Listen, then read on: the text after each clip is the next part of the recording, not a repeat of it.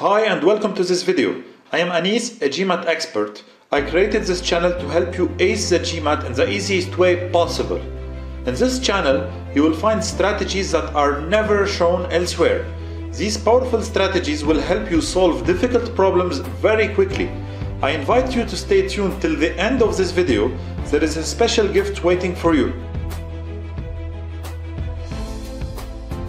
So, an object thrown directly upward is at a height of h feet after t seconds, where h is equal to minus 16 times t minus 3 to the power of 2 plus 150. So, here we have h is equal minus 16 times t minus 3 square plus 150. So, here uh, this equation uh, describes or give us information uh, about the height of the, this object in function of t. Uh, t is time. So after 10 seconds, if I replace t by 10, I can compute the h, which is the height of this object. Easy. So let's continue. At what height in feet is the object two seconds after it reaches its maximum height. So once this object reaches its maximum height, after two seconds, he is asking me to know the height of this object. But in this problem, I don't know the time when it reaches its maximum height. Because when I know the time when it reaches its maximum height, I can add 2 seconds and then I replace it here and I can easily compute the height.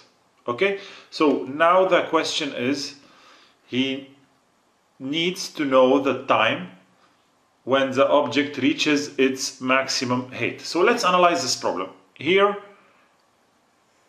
we have an expression, we have a negative component here, negative component, and here we have a positive component.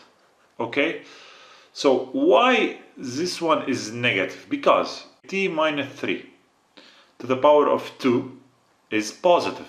So this one is positive because every number uh, squared is positive.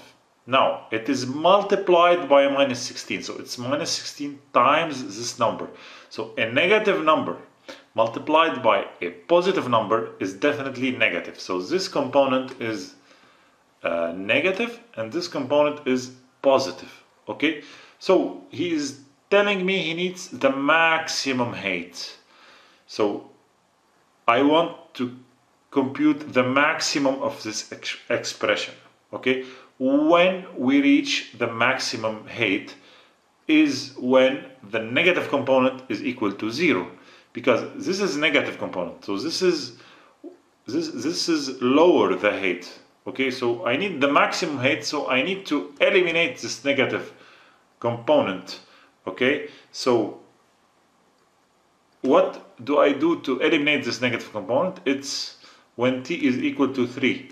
So if t equal to 3, then I have 3 minus 3 square times minus 16. So it's equal to 0 because 3 minus 3 is equal to 0 times 16 is equal to 0. So this is equal to 0. And then the maximum height is 150. So I eliminated the negative component because I want the maximum height. Okay, so we can see now that when t equal 3, we can reach the maximum height.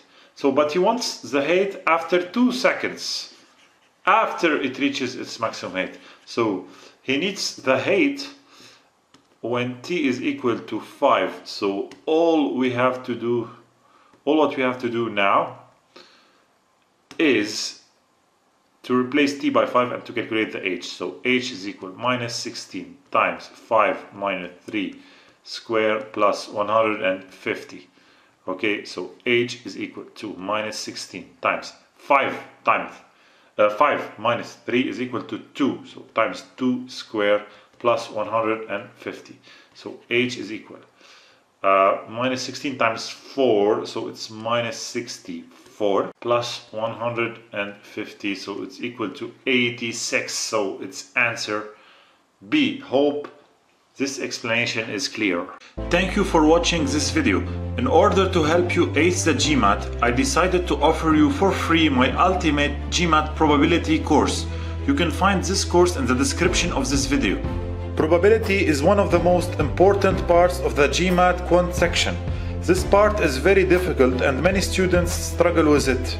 In this course, I will give you the best strategy to tackle any probability question and I will show you how to apply this strategy to more than 40 different practice questions. Once you finish this course, you'll be able to solve any probability question that encounters you in the GMAT. First, I will introduce you to combinations, arrangements and permutations. Then we'll solve together more than 40 GMAT questions of different level of difficulty and I will show you step by step how to solve them in the simplest way possible.